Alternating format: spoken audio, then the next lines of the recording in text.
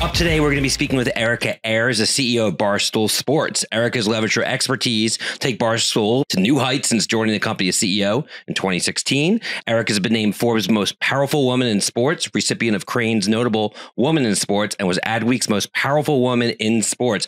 Erika, so great to see you. Thanks so much for joining today. Thank you for having me. Absolutely. So let's zoom out for a second back to before you got into the workforce. Okay. When you were sort of in college or even before college, did you always know you want to sort of be in media and technology, or is this something that kind of happened? Um, I always loved brands. Um, it- since I was really little, like when I was little, it was Benetton and Absolut, Sure, I remember and I that. would, you know, cut out the ads and plaster them all over my walls. So I, when I graduated from college, I wanted to work in advertising. I wanted a job. So let's just be clear, like Right. I wanted a job, um, but I really wanted a job in advertising. Um, and the advertising business was so different back then. This was the late '90s. Um, so I always wanted to do something that was creative. I always really had an affinity to the ad business overall, the creative business, the business of being creative.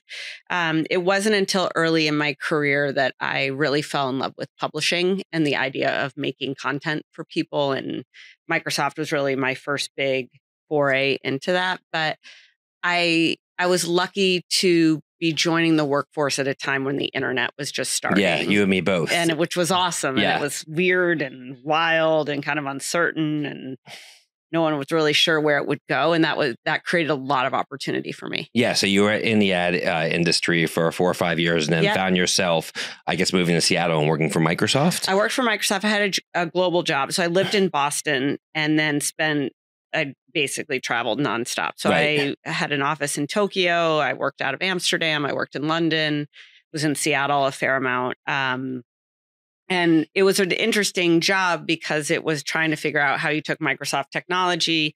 At the time, it was the portal era where Right. you consumers access the internet by going, you know, dialing up on AOL or going to MSN and selling banner ads, right? and selling banner ads. And I wasn't particularly interested in banner ads. I thought mostly they looked like shit. Um, and I had come. they still do. They still do. Yeah. Banner ads are so ugly. Like you go to a publisher's website and they like throw 16 banners and then a video that plays over the words you're trying to read. It's so annoying. Or on mobile when you're trying to exit out and, and you end you up can't clicking get it. the X. Right. Yeah. or like, anyways, I could go on for this forever. Yeah. I, last night I was trying to order food and I thought maybe a restaurant that I wanted to order from would deliver through Grubhub in this case.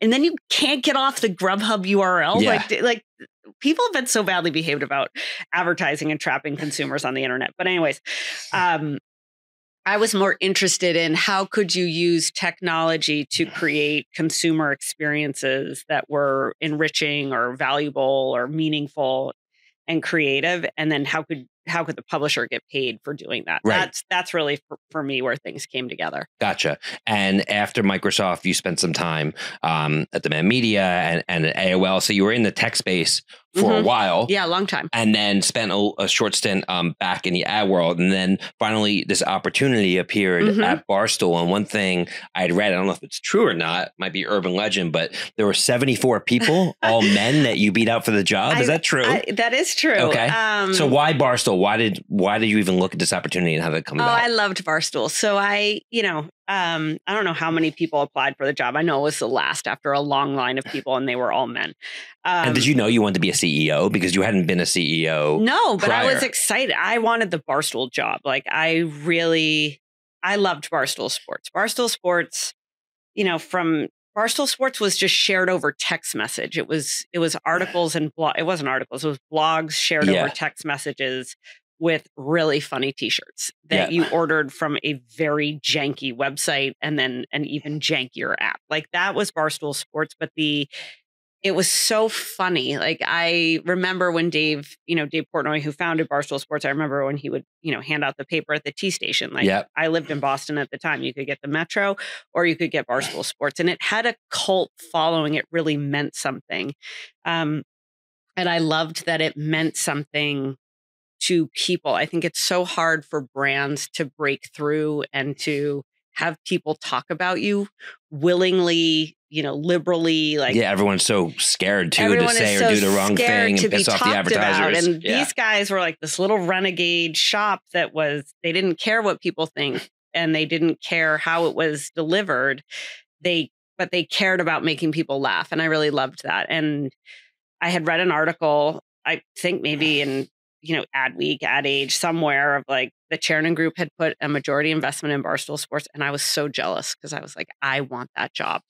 Um, I had a job at the time. I was like, they're going to hire a white guy with an MBA who comes from sports, who knows what he's doing.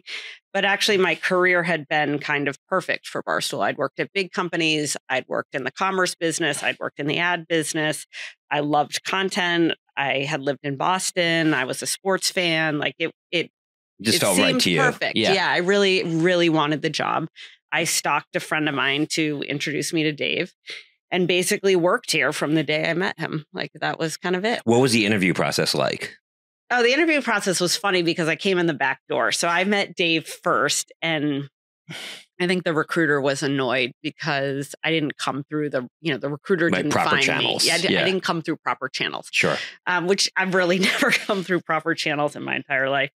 But um, so I, I first met with Dave. I loved Dave. I, I talked to Dave for a really long time. I met Dave a bunch of times in New York City. I remember hugging him after one of our meetings. Like I met Dave a lot. And then I had a conversation with the Chernin group. And then the recruiter got involved and, you know, made me go to Midtown and sit in a stiff chair and like barraged me with what, you know, gotcha questions.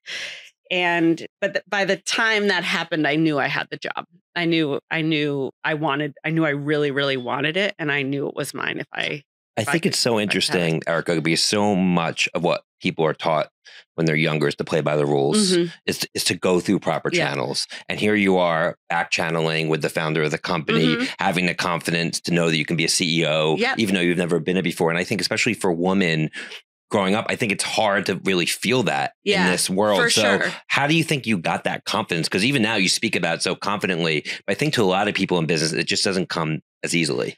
I think you have to, like, I'm writing a book about this now. I think you have to fail always. I think you have to put yourself out there constantly, and it gives you the confidence. Falling and failing actually gives you the confidence to succeed. And if you don't have little mini failures constantly where you fuck up and you hate yourself and you're like, I shouldn't have done this. Like, I feel like that every day of the week still to this day. But the process of doing that, I think, makes you feel more confident about what you learn from the experience. You trust your gut more. You're more self assured. Um, you're more decisive. You're more um, you're more dedicated to something you want to get to or someone you want to be. Like I had never been a CEO.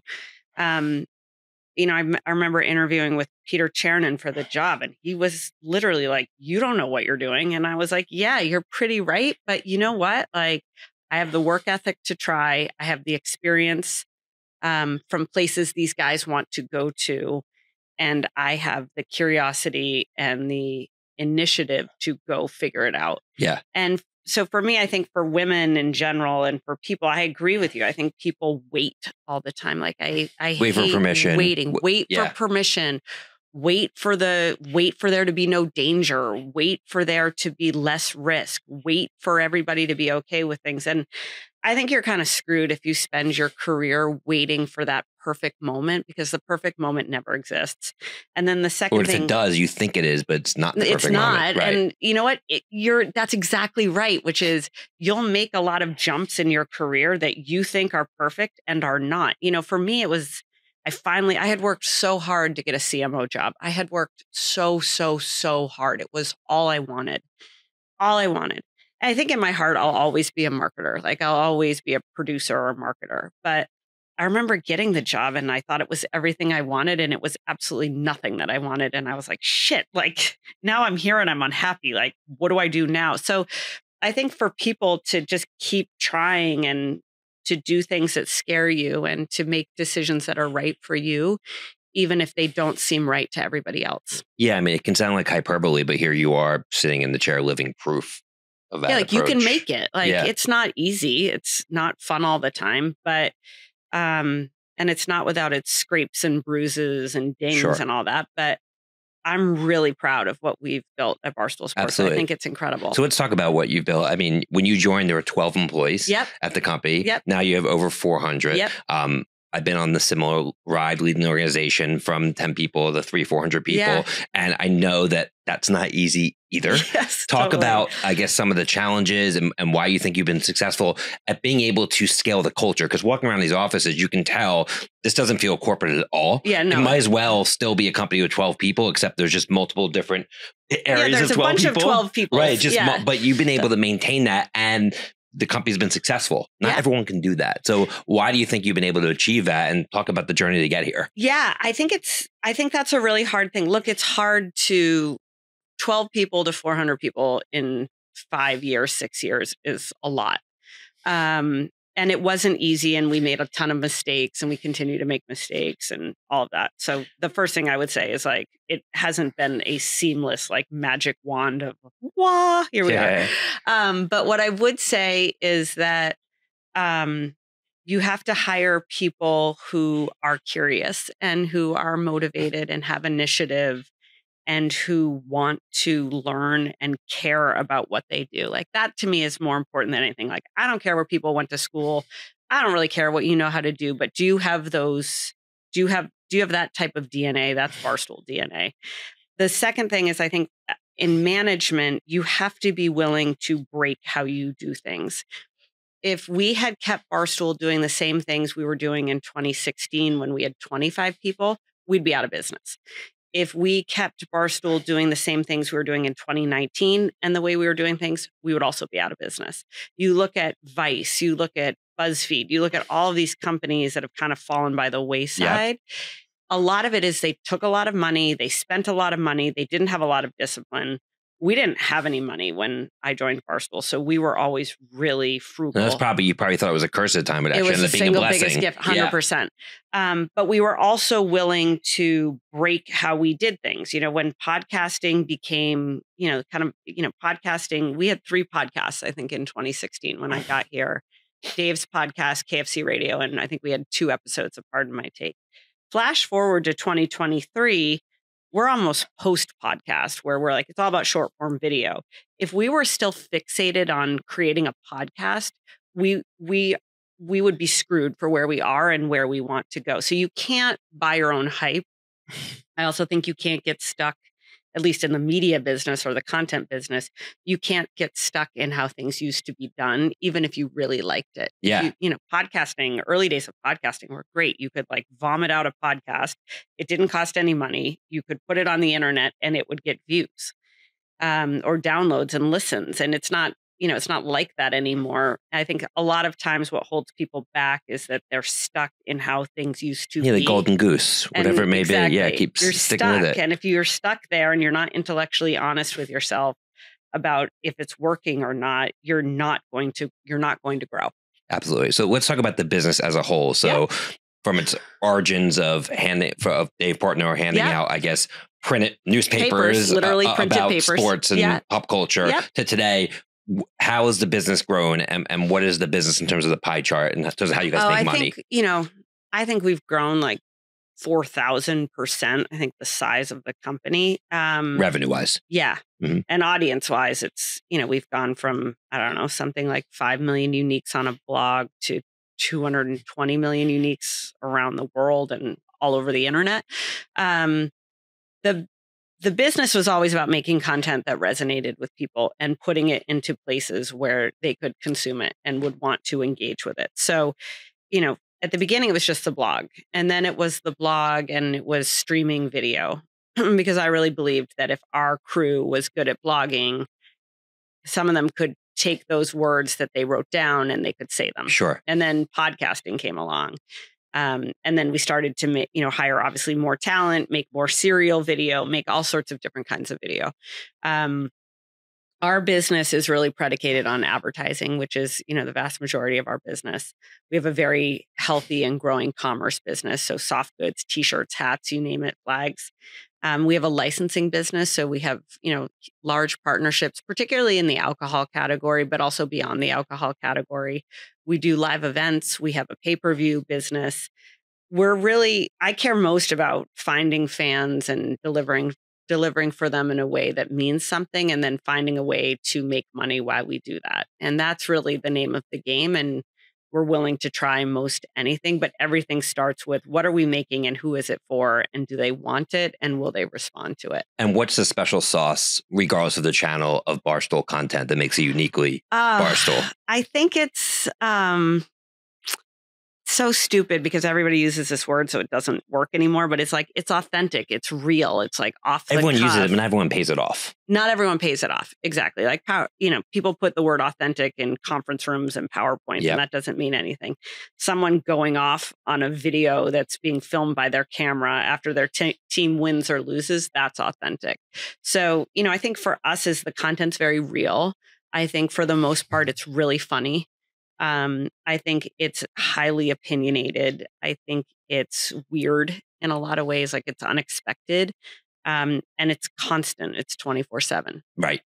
And and I think what's really interesting about Barstool is you've really grown on the backs of your talent. Mhm. So if you look at more traditional media platforms, you know, it's about the brand, the media Yeah, brand. it's not the shield. Yeah, and with you, y- your company has really pushed these individuals Mhm. in some instances to such heights they've gone off on their own and done their own For things. sure. Do you think it's the future, generally speaking, of media where it's about the individual versus versus the brand? And yeah, it's funny. I think the media business is in a tough spot right Very now. much and so. we straddle that where we were a creator company, honestly, before creators and influencers were a thing. Like Yeah. Dave Portnoy was so ahead of his time, like geniusly ahead of his time. Um, and now we struggle with that a little bit of, you know, are we a creator company or are we a media company or is a media company a creator company? Most media companies are not creator companies. Most media companies have a show and they have desks on the show that's or programmed, somewhat that's programmed- scripted. Yeah, That's scripted or structured. They've got producers on top of producers on top of producers.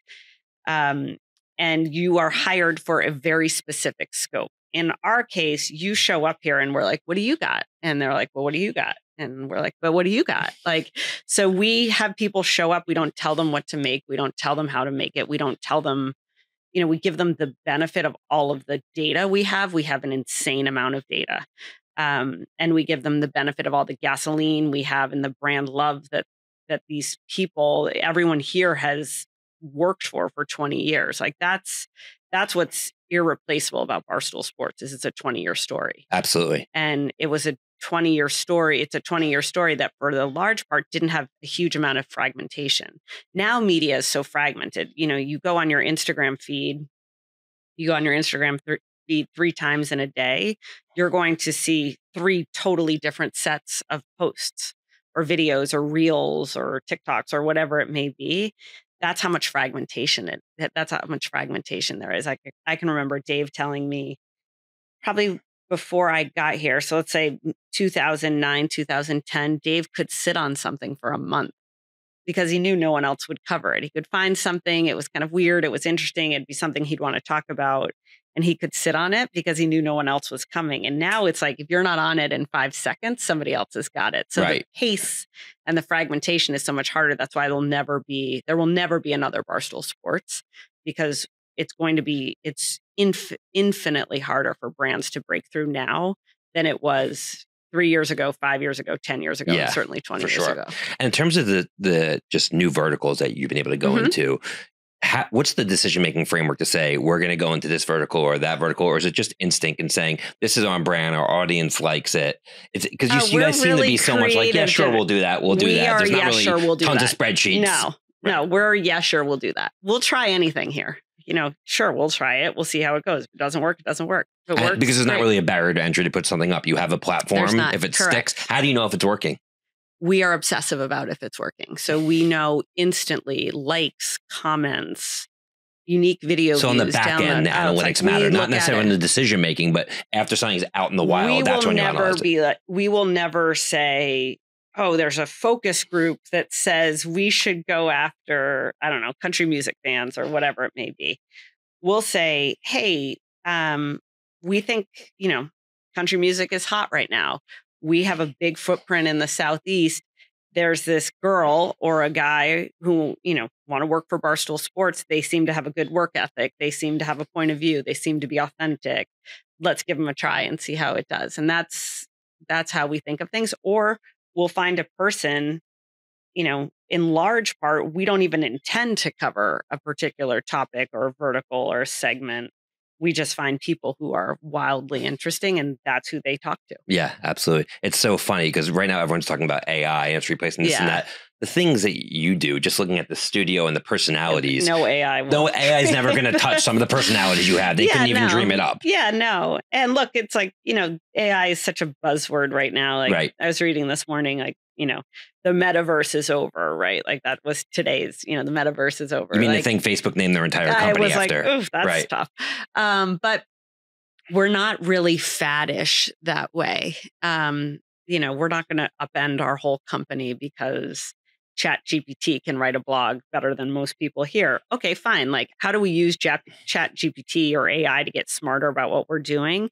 Can we use more ai to help with our editing? Can we you know how, how can we be smarter and faster on things Uh, something we care about but i think there's just it's a little bit much ado about nothing on Yeah, the creative Yeah, it'll it. be interesting to see how it plays out. So, the, so Barstool was acquired recently, fully acquired. Yep. Congratulations thank you on that, by the way. But you, I I guess the initial deal took place in 2020. yes Um, so, what was the impetus behind that deal? Was by uh, Penn Entertainment, which is a gaming company, Yep. which at, at time I think raised a lot of eyebrows, but now in retrospect makes a ton of sense. yeah for sure Um, and now a lot of other companies are following it. Yep. You see FanDuel coming out with its Sure. own TV network. So, how did that process come about, and how has that sort of unfolded? Yeah. Uh, look, we always wanted to be acquired. We, you know, when Dave took the majority investment from the Chernin Group, Yep. which was in 20 end of 2015, early 2016, the intention was to grow the company, make it a company, legitimize the company,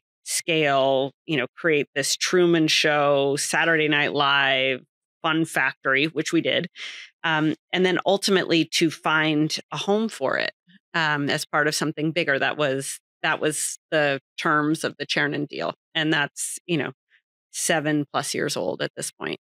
When Penn came along, it was after PASPA repealed, which enabled the states to legalize sports betting. And Penn was smart about the deal where they said, hey, we don't know a whole lot about running a media company, but we're really interested in it. And we're interested in a brand that has followers and an audience Yeah, that's they had no real consumer brand. They didn't have a consumer brand. Um, or certainly the Penn national brand at the time was not consumer. They have they have casinos who have consumer brands, but not a national consumer brand, and certainly not a national consumer brand that appealed to sports fans. We had that, um, and you know, Penn said we're going to put a majority, you know, or minority stake in the company. They invested in Barstool Sports. They taught us a lot about sports betting and compliance, and you know how we could promote betting in a way that worked in a highly regulated environment and we taught them a lot about consumers and the internet and you know how to how to engage people around live sports and sports betting um, and we've you know we've worked through that for two years and then the acquisition became formal this year. Um, and it's been you know it's been great for barstool sports. It's been hard. It hasn't been perfect. We've certainly had our moments and they've all you know mostly been very public. But I think that what we do is very unique and what we offer is very important. And what we do is talk to consumers authentically on the internet. We have the biggest megaphone around in the world, I would say, for, you know, 21 to 35 year old people.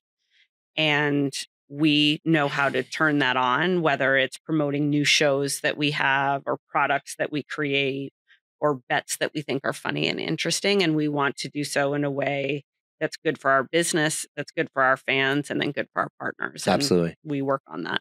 And has being owned by a gaming company, which is highly regulated, impacted at all the decision you you may you make or sort of the verticals you can go into? Yeah, of course. Like it's, you know, it's important. You know, we have, you know, kind of been growing from a blog to arguably one of the most influential brands, if not the most influential brand on the internet. There are things that would fly in 2016 when we were really small and the world was different that did not fly in 2019, that didn't fly in 2021, that don't that doesn't fly in 2023 and won't fly in 2030. So it's been a learning process for Yeah. us on multiple fronts and being part of a public you know, highly regulated company is a learning for us on a lot of fronts. And, you know, there's some lines that, you know, Penn really doesn't have a whole lot of latitude. They're governed by the SEC and by the government. Like we're a renegade blog out of Boston. So it's like that's a learning. Your founder says what he wants when he wants yeah, to do like it. That's so we all need to figure out how does this work together? Where are those lines? What happens when they're crossed? Um, how do we go into new areas? What are those new areas like? And that's something we continue to navigate yeah i can tell you i was at the Wynn headquarters Uh-huh. before and what their offices look like look nothing like Yeah, the barstool headquarters Yeah, no. here it's literally night Yeah. and day that's right but if you think about you know i believe they tried to launch an online gaming platform to not much success reason being that you guys are authentic you do speak to your fans you have an audience and a brand that people care about Mhm. and because of that they're going to gravitate towards what you're selling yeah that's right that's exactly it like it's very important you know i think the fact that we're so loud and it's so noisy is uncomfortable you know it's brilliant on some days it's hilarious on others it's excruciating on other days yet but that's part of this thing like that's what it means to be relevant and that's also what it means to be real Awesome. So shifting gears here in terms of the future Yeah. and big opportunities you think, because obviously you've had incredible success scaling the business, going from 400 to 4,000 people, not saying you'd ever want to get there is a whole Yeah. different journey or even Yeah. a thousand people. Where do you think the opportunities are moving forward, given the market's changed so much, given where you're at? I think the future, look, I think the, I think we're in a creator universe right now. I think it's a war for attention. Um, I think attention spans are getting shorter and shorter. Distribution is getting crowd, you know, more and more crowded. Um, consumer trust is eroding so quickly, um, and the rules are rules have just changed. You know, you used to think about where did you watch late night? You watch late night on cable television. Now you watch late night. Like, what is late night? Late Right. night is everything everywhere, Mhm. you know? So I want to play in that. I think that's very interesting. I think live sports were things that only very esteemed, you know, networks did, and then cable companies did, and now streaming companies are doing. Why can't Barstool Sports do Right. more live sports? You know, we started as a newspaper when Dave started Barstool Sports. We moved into an internet company. We scaled as an internet company. Maybe we can be the biggest consumer products company, you know? So I think the roles are all shifting and the rules are all shifting. And I think that creates, you know, chaos as a ladder. Like it creates an insane amount of opportunity. I don't know exactly what it's going to look like, but I do really believe so long as, you know, we have people who are curious and take initiative and care and have the right, you know, mojo to make something happen, we can make most anything happen. here. Absolutely, which is really exciting. So, uh, as we close out here, Yeah. Erika, I mean, we have a lot of young listeners, young women specifically, that listen to Speed of Culture podcast that would love to be in the CEO Yeah. seat one day. What advice would you impart on people earlier in their careers so they can take the necessary steps and the risks to to end up where they ultimately want to be, whether it's CEO or, or elsewhere? I mean, they could have my job. Um, There'll be lines outside the No, corner on happily. Seventh Avenue. um, I think there's a couple things. One is, I think in your 20s, the more risk you can take, the more things you can try, the more the more flavors you can taste, the more you can learn. Good bosses, bad bosses, good jobs, bad jobs.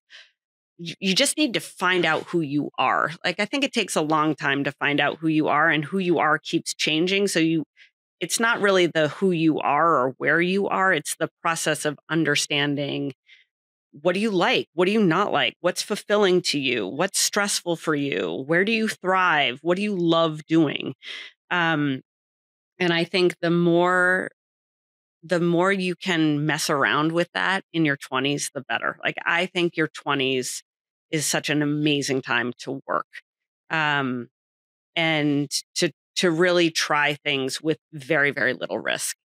And i think the lessons you teach yourself in that time will carry with you in your 30s and will carry with you in your 40s i think you should do something that scares you i think you should take a job nobody thinks you should take i think you should quit a job if you don't like it and everybody thinks you should keep it so just learning what works for you and why um, i think is insanely important and then to work hard to listen. I think people really struggle with feedback now. I think we Yeah. we're in a time where people are really coddled um, and protected from themselves. But if you're protected from getting better, you're you're never going to get better. And I think I'd rather personally get hurt and learn and be sharper for it or smarter for it um, versus not having been hurt in the first place. And I worry a little bit because I think we're now in a little bit of a time where like feedback feedback is an affront, like feedback is offensive. And I'm like, look, you don't agree with everybody's feedback. Um, you're not expected to agree with everybody's feedback, but if you're insulating yourself from the experience of it, it's going to be very, very difficult. Yeah, and we all have blind succeed. spots. We all have things does. that we're doing that we don't realize that other Yeah. is so glaringly obvious to other people. and you look everybody sucks at things like you, you know i'm the harshest critic on myself i think most everything i do sucks i still feel that way but i'm like at least if i'm saying it to myself if everybody else is saying it like i beat you to it you know like i got there first Yeah. so i think just keep keep playing with things keep trying things take jobs that scare you um, put yourself in a position where you have to succeed um, Absolutely. and i think those are then you know you can easily up a ceo job For sure. And with that, just to, finally, is there sort of a mantra or one quote you like to live by um, Oh, that drives you every know. day? You sort of Um, summed a lot of it up in, in what you just said, but yeah i think like i think it's really good to fail i think um you you've got to stay curious and wanting to learn and then i really think the best thing about the time we're in is that you can be yourself and be successful you don't have to be a cookie cutter mold of everybody else and that's what's so amazing about the internet and that's what's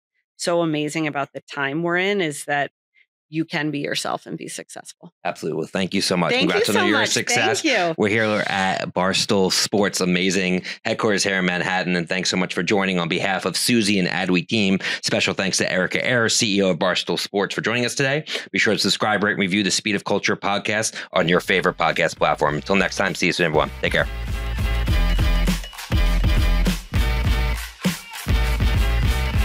Speed of Culture is brought to you by Suzy as part of the Adweek Podcast Network and ACAST Creator Network. You can listen and subscribe to all Adweek's podcasts by visiting adweek.com slash podcasts. To find out more about Suzy, head to suzy.com. And make sure to search for The Speed of Culture in Apple Podcasts, Spotify, and Google Podcasts, or anywhere else podcasts are found. Click follow so you don't miss out on any future episodes. On behalf of the team here at Suzy, thanks for listening.